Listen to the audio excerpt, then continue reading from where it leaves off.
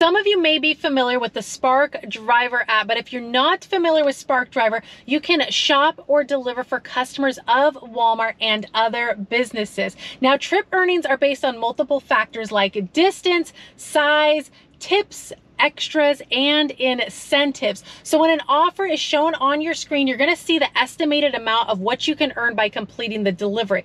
Now, most deliveries are eligible to receive tips and drivers keep 100% of customer confirmed tips, but you can also get earnings from incentives and referrals, which is great.